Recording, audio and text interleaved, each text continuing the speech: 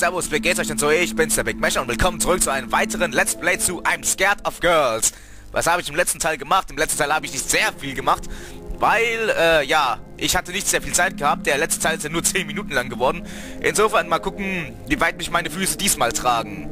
So, los geht's. Ich glaube nicht, dass ich im letzten Teil irgendein Item gefunden habe, beziehungsweise, ähm, einen roten Faden. Insofern, ja. Ich hatte ja dem letzten ähm, Gebiet, wo ich ja zwei Treppen hatte, ja zwei Möglichkeiten, wo ich entlang gehen konnte. Insofern nehme ich jetzt diesmal die andere Treppe, mal sehen, wo die mich hinführt. Ich weiß ja noch nicht mal, ähm, wie viele Fäden ich durchtrennen muss. Es könnten auch mal mehr Eingänge erscheinen, ehrlich gesagt. Gehen wir mal hier hin. So. Ich muss jetzt hier entlang, jetzt sage ich wieder gegen all die lustigen Monstern kämpfen.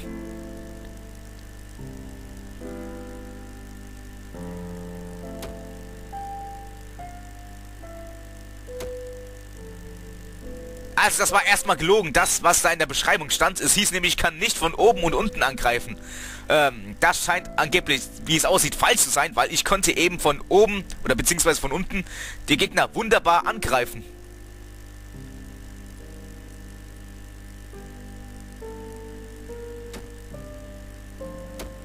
Wie ihr unschwer erkennen könnt, direkt von unten nach oben angegriffen.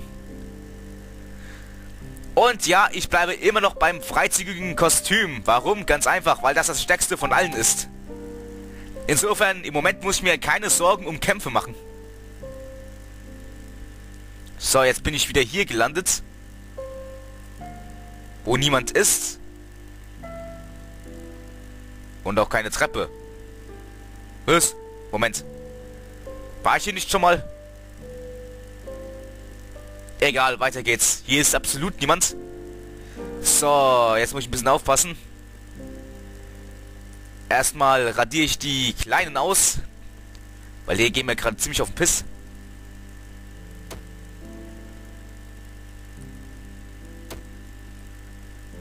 Ich habe das Gefühl, ich kann die besser von oben oder unten angreifen, als jetzt von links oder rechts.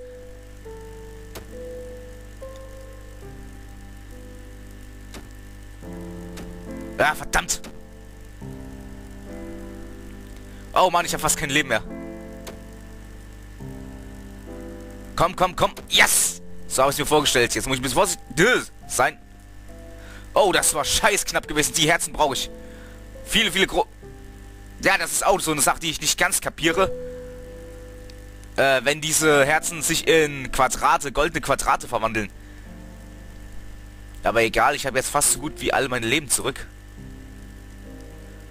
Und ich glaube, das war Geld gewesen, was ich da habe. Also Geld.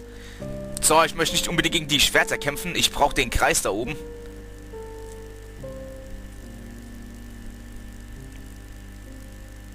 So, so habe ich mir so ungefähr vorgestellt. Im letzten Teil bin ich ja nach links gegangen. Diesmal gehe ich nach rechts. Und ja, ich bin in einem neuen Gebiet. So habe ich mir das ungefähr vorgestellt. Verdammt, falscher Gegner. Nein! Ah. So habe ich es mir ungefähr vorgestellt. Ah, okay, ich kann mich auch da unten hin bewegen. Okay. So, wartet mal kurz. Ich speichere hier nochmal kurz. Was? Ich kann mich nicht abspeichern. Oh Mann, ihr seid doch solche Wichser. Wenn ich pausiere, bewegen sich die Gegner trotzdem weiter. Was ist das denn für eine Kacke?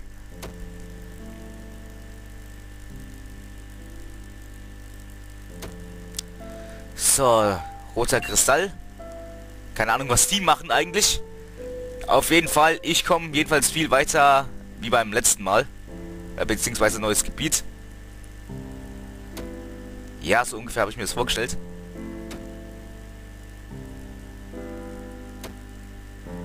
So. Da gehe ich oben entlang. Oh, ich kann ja nur da dort hoch. Verdammt! Warum ist dann der Kristall da oben? Hau ab! Okay, ein komplett neues Gebiet. Hier speichere ich nochmal ab. Hier bin ich sicher. Hier kommen keine Gegner irgendwo aus der Ecke heraus und wollen mich umbringen. So, erstmal brauche ich das Herz hier. Ja, war ja klar gewesen, alle anderen Herzen verwandeln sich wieder hier in irgendwelche Goldtaler. Jetzt habe ich wieder ein paar Herzen bekommen. So, und dann speichere ich hier mal ab wieder. Ja, ich speichere ziemlich oft, ehrlich gesagt. Ärgerfaktor ist, ich fasse diesen Kristall an. Und ein roter Faden. Den trennen wir. Mal sehen, was mich hier erwartet. So. After I was kicked out and before I start working, started working at the office, okay? I did strange things. Ja, wie gesagt, für die, die den letzten Teil nicht gesehen haben, unser Hauptcharakter ist ein Crossdresser. Also, der ist eigentlich ein Junge, er sieht zwar aus wie eine Frau, aber nein, er hat nur Frauenkleider an. Und im Moment trägt er ein ziemlich freizügiges Gefängnisoutfit. Also, er hat zwei seltsame Sachen gemacht. Äh, das erste war ein Job in einer Mitternachts... Ja, in einem Mitternachtsimbiss, okay?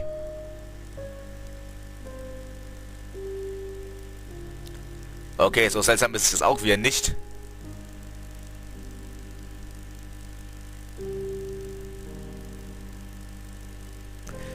Okay, das war jetzt eher mehr seine Ansicht. Also er erklärt hier, das Spiel ist komplett in Englisch. Ich gehe mal stark davon aus, jeder von euch versteht Englisch. Ähm, ansonsten, ich hoffe mal, dass jeder von euch ansatzweise den Kontext der Texte versteht. Jedenfalls, ähm, in seinen Augen ist die Masse an Menschen, die sich in den Café oder wo auch immer er gearbeitet hat, äh, immer so deformiert und komisch ähm, zusammengestellt. Also das war von seiner Ansicht her. Also ich würde nicht sagen, dass der Platz seltsam war, sondern mehr seine Ansicht von den Dingen.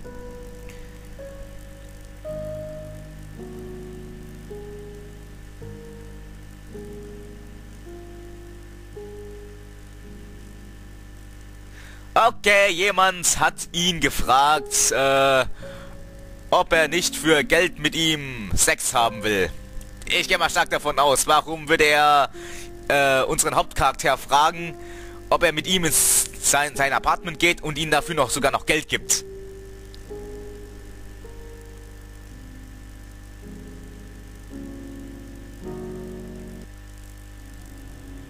Okay, ich glaube, wir wurden wegen diesem Wichser gefeuert.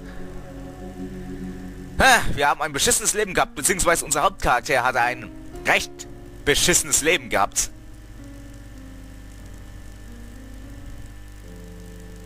So, jetzt muss ich aber wieder nach einem neuen Weg finden. Ich habe keine Ahnung, wo ich hingehen soll. Kann ich jetzt dahin? Wozu sind diese Dinge überhaupt da, wenn ich damit nicht interagieren kann? Hä? Und was ist mit diesem roten Rubin? Ja, die Zahl Nummer 10. Ich habe immer noch keine Ahnung, was ich damit machen soll. Ich stehe irgendwie ein bisschen auf dem Schlauch. Ich weiß nicht, wo ich hingehen soll. Hä? Soll ich noch mal in diesen komischen Raum, wo ich davor war? Beziehungsweise, wo ich schon öfters da war, aber jetzt erst neulich entdeckt habe, dass da ein zweiter Raum ist. Dann speichere ich mal schnell ab und ich mache einen kurzen Break. Wir sehen uns gleich wieder. Also, ich sollte mir eins merken. F12, was auch meine Aufnahmetaste ist, bringt mich wieder zurück zum Startbildschirm. Ich bin jetzt den ganzen Weg gerade wieder zurückgelaufen, weil ich plötzlich wieder am Startbildschirm war. Gott sei Dank habe ich davor den roten Rubin abgespeichert. Insofern war das Backtracking nicht allzu schlimm gewesen. Aber jedenfalls gehen wir mal hier hin. Und dann suchen wir wieder diesen bizarren Raum, wo auch immer er ist. Er ist hier. Dort, wo unsere toten Körper alle liegen. Ja. Großartig, ja. Okay, ich habe keine Ahnung, was hier passiert ist. Ärgerfaktor ist, ja, die sind alle tot. Meine Körper hier. Und ich habe keine Ahnung, was ich hier machen soll. Was passiert, wenn ich das hier anfasse? Gar nichts, okay. Immer noch im Gefängnis. Kein Ausgang. Hier geht's raus. Da möchte ich auch hin. Okay, da war nichts gewesen. Schade eigentlich. Ich hatte eigentlich mehr gehofft, dass da mehr wäre. Ich hätte jetzt eigentlich wirklich gedacht, das ist ein ziemlich großes Spiel, aber wie es aussieht, gibt es nur diese wenigen Räume. Inklusive der, dem unglücklichen Platz. Oder den Unhappy Place, wie auch immer man den nennen will. Love you. Äh. Jedenfalls, ich gehe mal hier rein. Wow, okay. Bin ich hier gelandet? So. Den Kristall nehme ich und den schwarzen. Jetzt gehe ich mal hier rein. Ich habe keine Ahnung, was die schwarzen Kristalle eigentlich machen. Ebenso wie die roten. Danke. Kann ich irgendwo anders dahin? Nein, ich bin hier abgegrenzt. So. Ich glaube, meine Leben sind auf Maximum. Höher kann ich nicht. Schwarzer Kristall. Was ist, wenn ich da unten den Grabstein da berühre? Gar nichts. War ja klar, dann komme ich wieder hier hin. Halt! Vorsichtig, vorsichtig. Sollte aufpassen, weil letztens äh, hatte ich Probleme, hier entlang zu kommen. Erstmal speichere ich ab. Sicherheitshalber. So, genau, diese Arschgeigen haben mir den Weg versperrt hierhin. Oder? Auf jeden Fall gehe ich hier hoch mal, oder...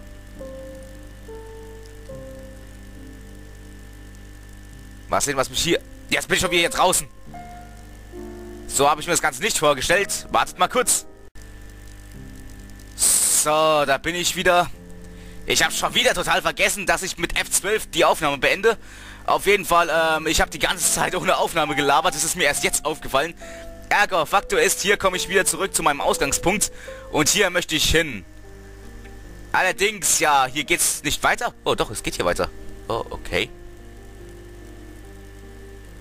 Auf jeden Fall, was ich vorhin gesagt habe, oh, wo meine Aufnahme beendet worden ist, wo ich nicht gemerkt habe. Das ist von allen der glücklichste Ort überhaupt. Hört euch mal die Musik an. Ich bin jetzt mal kurz leise.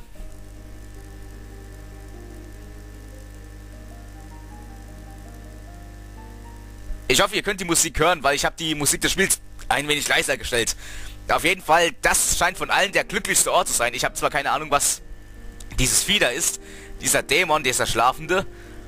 Auf jeden Fall, ich fühle mich hier wesentlich wohler. Ärgerfaktor ist, ich muss jetzt wieder... Ja, wo gehe ich denn jetzt am besten hin? Ich glaube, ich habe mich schon wieder... Na, shit! Ich glaube, ich hätte den anderen Weg wieder zurückgemusst. Verdammt, und ich kann den... Doch, ich kann wieder zurücklaufen. Letztens haben wir die Wichser da unten den Weg versperrt und ich konnte da nicht entlanglaufen. Das hat mich voll angekotzt. Aber ich rede doch nochmal schnell mit denen.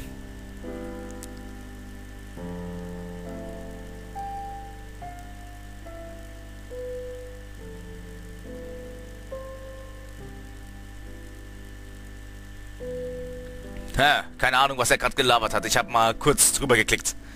Jedenfalls, ich gehe wieder hier rein. Und mal sehen, wo mich das hinführt. Neuer Ort, den habe ich vorhin auch noch nicht gekannt. Und ich gehe hier rein. Ich hoffe, ich finde jetzt noch mehr rote Rubine. Ver verdammt! Arschloch.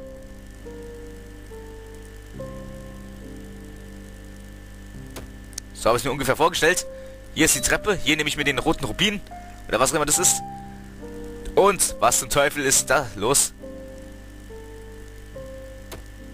Verdammt! Wow, wow, wow, wow, wow. Okay, diese Wichser machen mir hier Schaden. Also diese komischen Grabsteine. Oder Steine, was auch immer das sind. Da muss ich vorsichtig sein. Oh, komplett neuer Ort. Ich speichere hier ab. Das gefällt mir gerade. Wow, wow, wow, was ist das denn da oben? Das war, glaube ich, eine Seele gewesen. Auf jeden Fall, hier ist ein Herz. Hier geht's irgendwo... Hier kann ich nichts machen, okay. Hier ist... Äh, Geld, glaube ich. Und hier ist ein großes Herz. Und hier geht's rein. Damit habe ich jetzt gar, gar nicht gerechnet. Oh, okay, da ist etwas hinter den Grabstein. Das hab ich ich habe gedacht, das wären jetzt Gegner. Da habe ich mich jetzt doch ein bisschen vertan. Komme ich hier weiter? Ja, ich komme hier weiter. Ja, Wow, wow, wow. Wer sind denn die?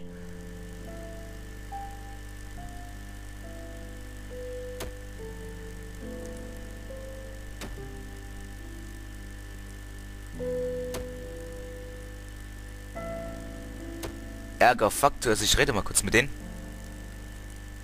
Die machen nichts. Seltsam. Die stehen einfach nur so dämlich in der Gegend herum. Äh, äh, ich bin ein bisschen verwirrt. Die machen nix. Na gut, okay, nehme ich jetzt einfach mal so hin. Und da ist schon wieder einer und schon wieder diese verfickten Steine da, die mir Schaden zufügen können. Ich frage mich, ob ich mit denen reden kann, kommunizieren. Oh, okay, jetzt auf einmal kann ich mit denen kommunizieren. Welcome to my Skull Shop. Was?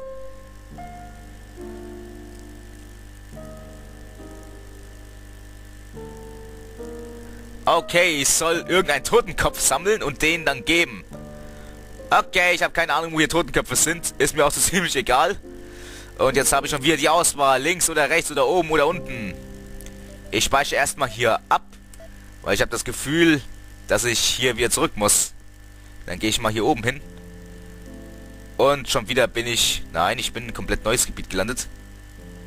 Faktor ist, ich bekämpfe den hier und gehe hier entlang.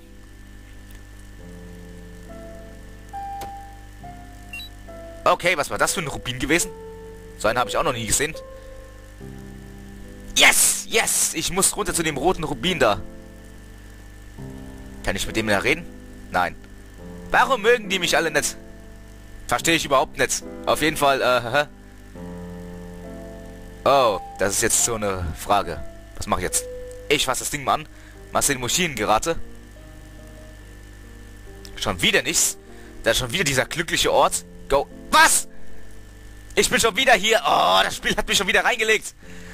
Okay, das war völlig unnütz gewesen. Ich hätte es mir ja schon fast denken können. Ich bin jetzt schon wieder hier gelandet. Auf jeden Fall, ich muss runter zu dem roten Rubin, der da war. Jetzt darf ich mich nochmal hier durchkämpfen. Danke. Ah, verdammt, ich habe total vergessen. Die Dinger machen mir ja Schaden. Ich brauche diesen Kristall. Und der muss mir aus dem Weg gehen. Verdammt! So, ich muss hier runter zu dem roten Kristall. Danke. Lauter Herzen. Ich glaube, ich nehme erstmal die Herzen, bevor ich überhaupt irgendwas mache. Äh, sehe ich mich erstmal kurz hier um. Es scheint nichts Interessantes hier zu geben. Nur ein riesen, riesiger Ort oder sowas. Fuck, ich bin voll eingekreist.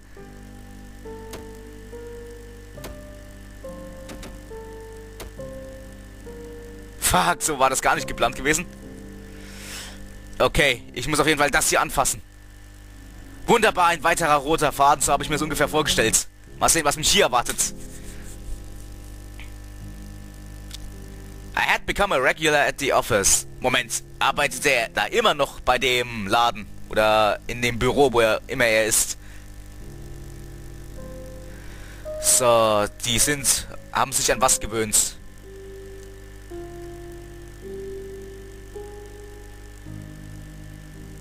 Ah, okay, also die Leute haben sich dran gewöhnt oder mochten es sogar, dass ein Junge hier in Mädchenklamotten rumläuft. Okay, jeder seine eigene Meinung. Ich habe persönlich kein Problem damit, wenn jetzt auf meiner Arbeit jemand mit, äh, ein Mann mit Frauenklamotten rumrennt, solange er, sag ich mal, mir nicht allzu nah tritt. Aber naja,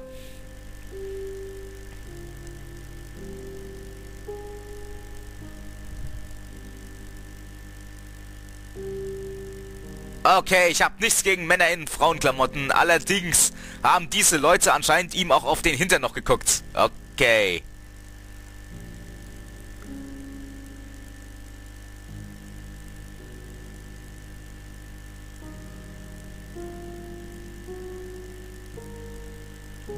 Okay, da war ein Typ, der unseren Hauptcharakter gefragt hat, ob er ihn oben im dritten Stockwerk treffen will.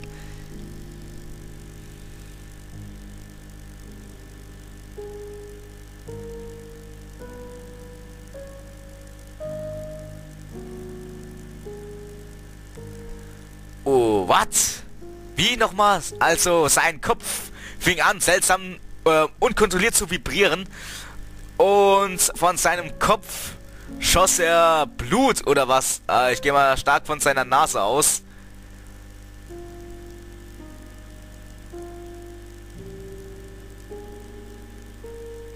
Okay, der Typ ist sogar gestorben. Oh, armer Kerl. Das war seltsam. Aber sowas von... Und jetzt bin ich schon wieder hier gelandet. Ich lande öfters hier. Das gefällt mir überhaupt nicht. Das heißt, ich darf schon wieder Backtracking machen. Eieieiei. Dieses Spiel lässt mich wirklich immer wieder äh, von einem Ort zum nächsten rennen. Es ist eigentlich völlig unnötig, mich immer wieder an denselben Ort zu schicken, finde ich jetzt jedenfalls. Auf jeden Fall, mit dem kann ich immer noch nichts machen. Ich gehe mal stark davon aus, wenn ich 10 rote Fäden durchtrennt habe, dann komme ich endlich, äh, komme ich wieder in Freiheit. Als, sag mal, der rote Rubin hat damit was zu tun. Die haben mich direkt neben meinem Gegner platziert, das gefällt mir gar nicht. Eieiei, und ich bin im unglücklichen Platz gelandet. Ja, na gut, es interessiert mich mal das hier. Und zwar der hier. Ist es überhaupt ein Gegner? Weil der bewegt sich so gut wie gar nicht. Äh, komm rein, wir sind ziemlich ruhig da drin. Ja, das ist eine Frage, die ich mir gerade selbst stelle. Versuchen diese Typen mich, no mich nicht normalerweise zu fressen? Okay. For one, that's the top level crazies who the television guy pays.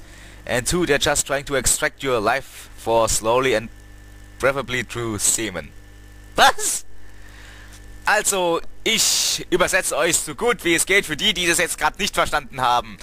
Diese Geister, blauen Geister, die weiter oben sind, gegen die ich auch immer gekämpft habe, wollen nur meine Lebensenergie absorbieren. Und äh, am liebsten tun sie das durch Sperma. Ihr habt mich richtig gehört, Leute. Diese Geister da oben wollen mein Sperma. Was? Was für ein bizarres Spiel. Ja, auch meine Reaktion. Ja, ich gehe lieber rein. Ich gehe lieber da rein, ja. Und, wow, da ist ein roter Kristall. Awesome, ein roter Kristall, aber ich speichere vorher hier mal ab. Ja, Alter, habe ich mir vorher noch nie was angesehen. We have six rubies. Ah, okay, also ich brauche 10 Rubin wahrscheinlich. Das ist also die Zahl an Rubinen. Six, äh, 6 Obsidian, okay. Und ein Saphir. Points. Okay, ich habe sehr viele Punkte. Spreche mal mit dem Typ, der sieht lustig aus. Ja, das weiß ich, wie viele ich habe. Was sagt der hier unten? Gar nichts. Der interessiert sich nicht für mich. Der trinkt hier Kaffee. Kaffee. Das ist eine Krabbe.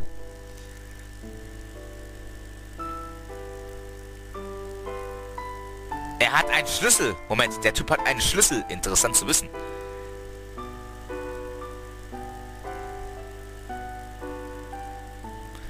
Äh, Gott sei Dank habe ich abgespeichert. Wartet mal kurz, ich muss einen kurzen Break machen. Ich bin gleich wieder da. Sorry für die unangenehme Unterbrechung, aber das war jetzt gerade wichtig gewesen. So, und da bin ich wieder. You feel a distinctly new sensation. Das gefällt mir überhaupt nicht. Jetzt werde ich hier auch noch sexuell belästigt. Dieser gottverdammte Hurensohn, der hat mich in einen finsteren, finsteren, finsteren Ort reingeschickt. Was für ein Penner.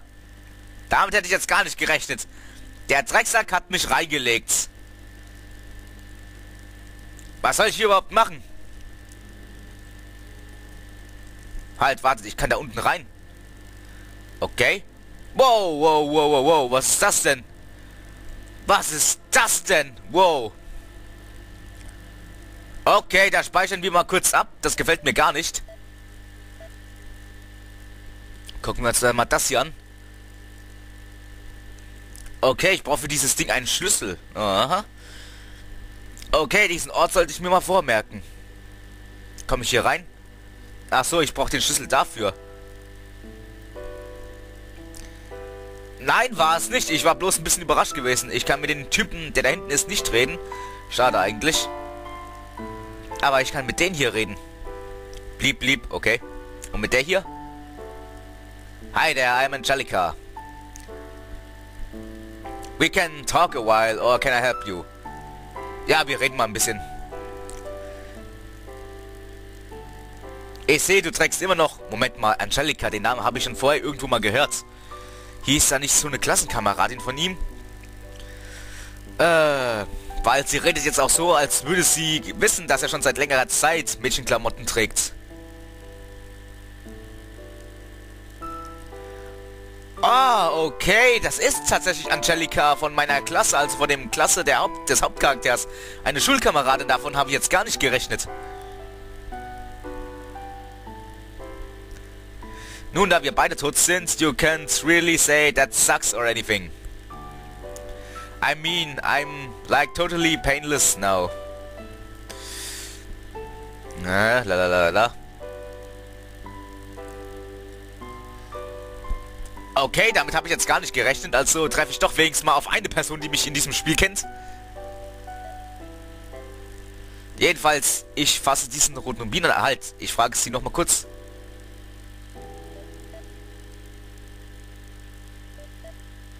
Nein, da möchte ich nicht hoch. Ich möchte aber den roten Rubin hier haben.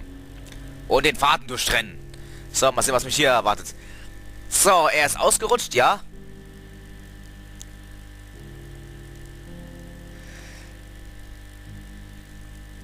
Okay, er redet hier gerade über Balance.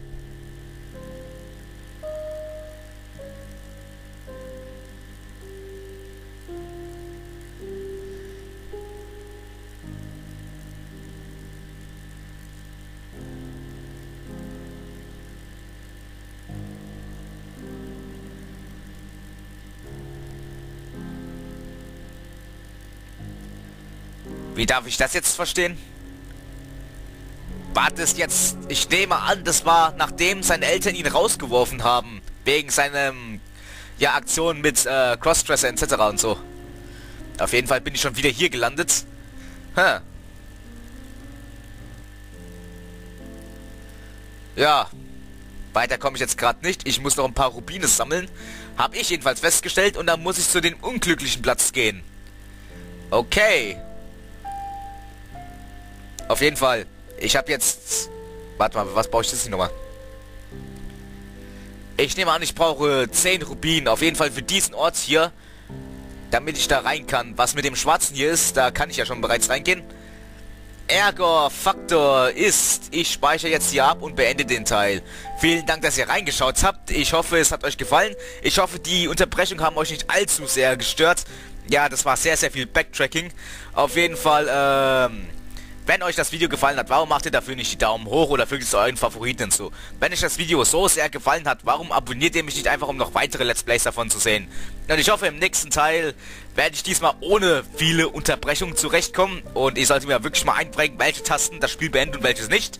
Auf jeden Fall, ähm, vielen Dank, dass ihr reingeschaut habt. Wir sehen uns dann das nächste Mal. Ich wünsche euch noch was. Ciao!